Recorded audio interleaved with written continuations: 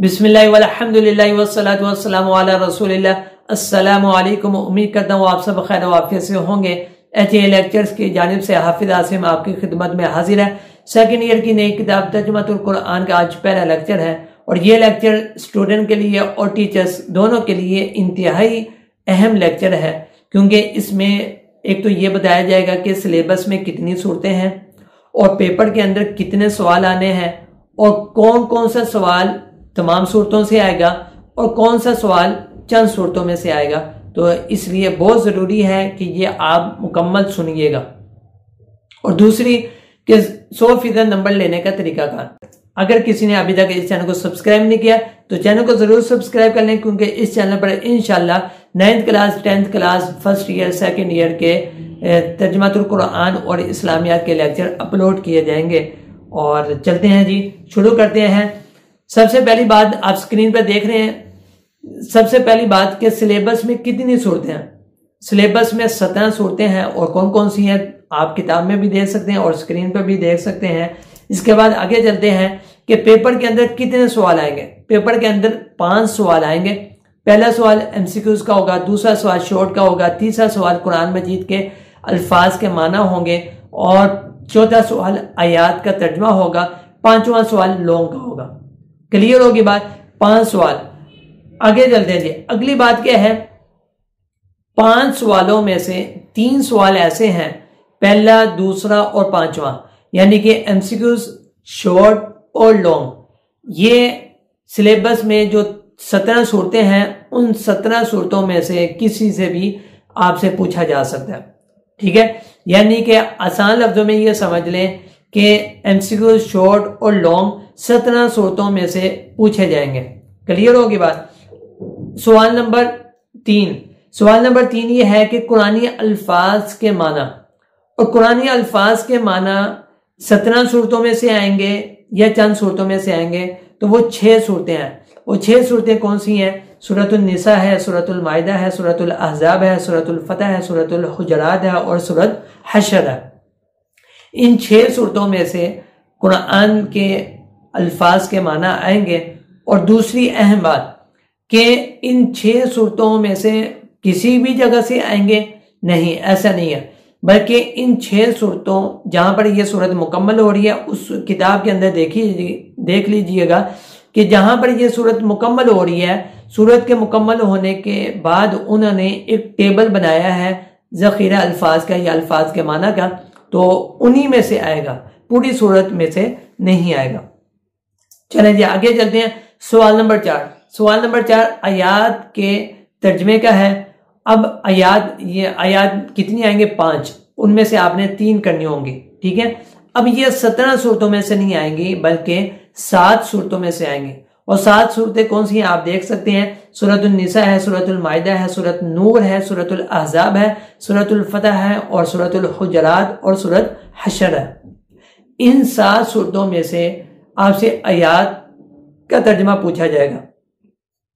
और इसमें एक अहम बात आप स्क्रीन पर भी देख सकते हैं, जो आपके लिए आसान आसानी के लिए है कि सूरत निसा के अंदर पूरी सूरत का तर्जमा नहीं पूछा जाएगा, बल्कि उन्होंने तकसीम खुद ही किताब में भी बता दी है कि एक और दो, इन दो आयात का तर्जमा आएगा, आ सकता है, ठीक है?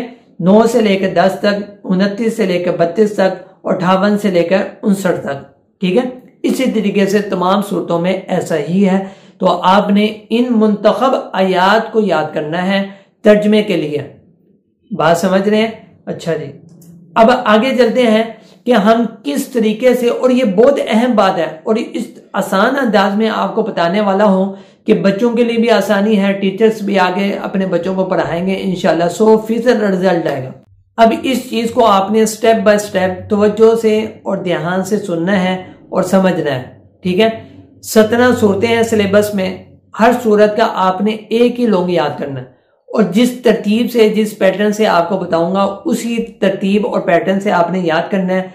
इससे आपके इंशाल्लाह शोर भी कवर हो जाएँगे, बहुत से और आपके एमसीक्यूज भी इंशाल्लाह कवर होंगे। और लॉन्ग में भी इंशाल्लाह पूरे आपके नंबर आएँगे। क्लियर की बात।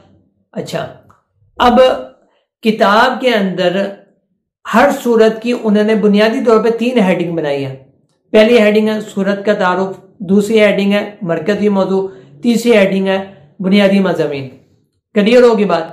अगली बात, बोर्ड के अंदर आपको लॉन्ग में कुछ भी पूछ लें। यानी कि आपसे ये पूछ लें कि सूरतुल हशर के बुनियादी मजामी पर नोट लिखें, ठीक है?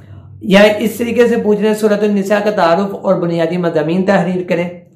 अल्फाज जो भी हैं लोगों के, आपने वो मैंने आपको बताया कि एक ही लोग याद करना है, उसको शुरू कहाँ से करना है और आखिर कहाँ से करना है, वो आपको मैं तरीकाकार करवाऊँगा इनशाला जब आप लोग आपने करना है, मैंने आपको पहले बता दिया कि आपने हर सूरत का एक ही लोग करना है। उसका स्टार्ट और उसका एंड ये आपने तीनों चीज़ें लिखनी है। और ये जो तीन हेडिंग है, आप स्क्रीन पर देख सकते हैं, ये आपने दरमियान में देनी है। ठीक है? और इसके अलावा जितनी हेडिंग आपको बताऊँगा, वो आपकी सब हेडिंग होगी। वो आपने दाई तरफ़ लिखनी है, वो आपने दरमियान में नहीं देनी। क्लियर होगी बात? अच्छा जी, अब आगे चलते हैं। अब आपने लॉन्ग शुरू करना है। दरमियान में पहली हेडिंग देनी है, सूरत का तारुफ। इसके बाद आपने फौरी तौर पर सब हेडिंग नहीं देनी। आपने एक पैराग्राफ बनाना है। उस पैराग्राफ के अंदर पाँच बुनियादी बातें आपने लिखनी है। और तरतीब एक ही रखें, सत्रह सूरतों की, ताकि आपके लिए आसानी हो। किताब में तरतीब थोड़ी आगे पीछे भी है। कुछ सूरतों की कुछ चीज़ पहले है, कुछ बाद में है। तो आप एक ही तरतीब रखें, ताकि आपके लिए आसानी हो। पहली बात यह सूरत मक्की है या मदनी है? दूसरी बात, कुरान की तरतीब के मुताबिक कौन से नंबर की सूरत है? तरतीब तोकीफी। तीसरी बात, किस पारे से शुरू हो रही है? या किस पारे में मौजूद है? ठीक होगी बात। चौथी बात, आयात कितनी है? पांचवी बात रकूक कितने हैं? ये आपने जुमलों की शक्ल में लिखने हैं पॉइंट की शक्ल में नहीं लिखने और ना ही इसकी हेडिंग बनानी है। पैराग्राफ की शक्ल में लिखें, इंशाल्लाह अच्छा लगेगा। ये मेरा तरीका कार है, बाकी जैसे आपके टीचर आपको जैसे गाइड करें तो आप उन पर अमल करें।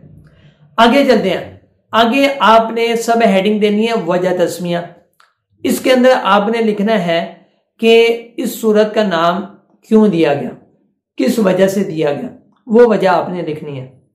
अच्छा ये छह बातें, पाँच ऊपर वाली और वजह तस्मिया छठी बात, ये छह बातें हर सूरत में मौजूद हैं।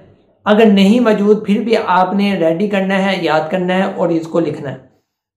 क्लियर होगी बात?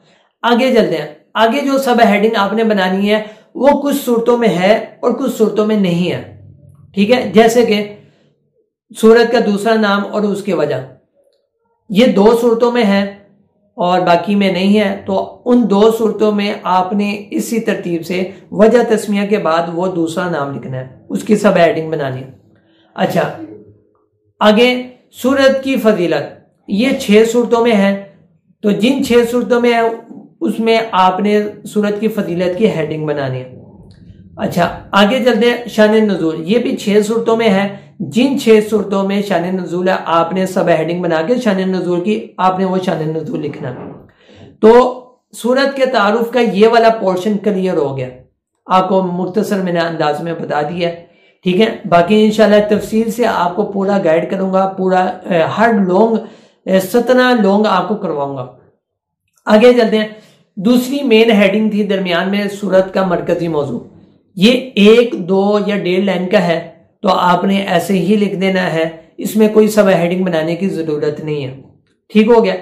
अब इससे आगे चलते हैं। सूरत के बुनियादी मजमी सूरत के बुनियादी मजमी तफसीली हैं डिटेल से हैं। इसकी आपने सब हेडिंग बना बना कर लिखना है। किताब के अंदर सब हेडिंग या कोई छोटी मोटी हेडिंग नहीं बनी हुई, पैराग्राफ बने हुए हैं। तो अगर आप इस चैनल को फॉलो कर लेते हैं तो इनशाला आपको हेडिंग भी पता चल जाएँगी। ठीक हो गया। इतनी बातें समझ में आ गई आपको। ये आपका इस तरीके से लॉन्ग मुकम्मल हो जाएगा। अब लॉन्ग इस पैटर्न से करने का आपको क्या फ़ायदा होने वाला है? अब आप तो वजह से सुने और ये बहुत अहम बात बताने वाला हूँ। एक्सरसाइज के अंदर ये शॉर्ट हो या ना हो जो मैं आपको बताने वाला हूँ, ये आपने याद करने करना है। ठीक है? पहले नंबर पर, सत्रह सूरतों का तारुफ। हर सूरत का आपने तारुफ, मुख्तसर तारुफ ये शोर में पूछा जा सकता है। तो आप ये समझ लें, सत्रह सूरतों के, सत्रह शोर आपके यही बन जाएँगे। ये कुछ सूरतों के एक्सरसाइज में है, कुछ में नहीं है, बल्कि अक्सर में नहीं है। तो आपने याद करने करना, बोर्ड वाले दे सकते हैं। क्लियर होगी बात? सूरत के तारुफ के अंदर आपने पहली छह छह बातें लिखनी है जो मैंने आपको बताई ना अभी। मक्की या मदनी सूरत, तरतीब तोकीफी, पारा नंबर, आयात और रको। ये पाँच होगी और छठी बात आपने वजह तस्मिया, इसमें, इस शोर में ऐड करनी है। क्लियर हो गया? दूसरा ऐसा सवाल जो सत्रह के सत्रह सूरतों में बन सकता है, वो है वजह तस्मिया का। सूरतुलनिसा की वजह तस्मिया लिखें सूरतुलमाइदा की वजह तस्मिया लिखें सूरतुलहजरात की वजह तस्मिया लिखें तो ये आपसे पूछ सकते हैं। सत्रह हो गए इसी तरीके से सूरत का मरकजी मौजू। ये सत्रह की सत्रह सूरतों में आपसे शॉर्ट पूछ सकते हैं। तो इसमें आपने ये रेडी करना है। आगे चंद शॉर्ट ऐसे हैं जो सत्रह सूरतों में नहीं है, बल्कि जितनी सूरतों में उसके आपने याद करने हैं। चाहे वो एक्सरसाइज में हो, चाहे एक्सरसाइज में ना हो पहले नंबर पर क्या है? सूरत का दूसरा नाम और वजह। ठीक है? मैंने आपको बताया ये दो सूरतों में है तो वो दो आपने याद करना है शोर और इसी तरीके से सूरत की फजीलत, ये छह सूरतों में छह में आपने याद करना है। इसी तरीके से सूरत का शान नजूल, ये छह सूरतों में ये आपने याद करना है। क्लियर है? तो इस पैटर्न से आप तैयारी करेंगे, आपका इनशाला आप, आपके लिए रेडी करना आसान हो जाएगा। आपको कोई मुश्किल नहीं होने वाली।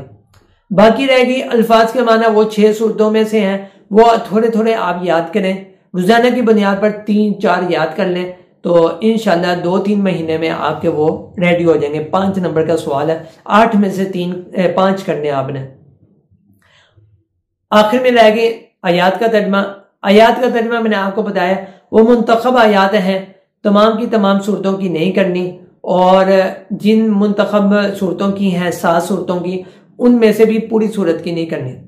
तो आप रोज़ाना की बुनियाद पर एक आयत का तर्जमा याद कर लें। तो इन साल के आखिर तक आपका आसानी के साथ पूरे, यानी कि सिलेबस कवर भी हो जाएगा और आसानी से आप पेपर दे भी सकते हैं, याद भी कर सकते हैं और सौ फ़ीसद नंबर हासिल कर सकते हैं। उम्मीद करता हूँ तमाम बातें आपको समझ में आ गई होंगी। अगर कोई बात ना समझ में आए तो आप कमेंट में पूछ भी सकते हैं और दिए गए नंबर पर भी पूछ सकते हैं। अहम बात तो रह गई है। वो ये कि चैनल अगर किसी ने सब्सक्राइब नहीं किया तो चैनल को ज़रूर सब्सक्राइब कर लें। इनशाला अनकरीब मुलाकात अब होती रहेगी। क्योंकि पहले कुछ मसरूफियात थी जिसकी वजह से हाजिर नहीं हो सका, उसके लिए मादर चाहता हूँ। बहुत से लोगों ने रबता भी किया और इंतज़ार में थे, सर सेकेंड ईयर के भी अपलोड कर दें। आपकी मोहब्बत का शुक्रिया। इनशाला इसको मुकम्मल करेंगे। ज़िंदगी रही सेहत रही तंदुरुस्ती रही आप दुआ भी कीजिएगा। असलकम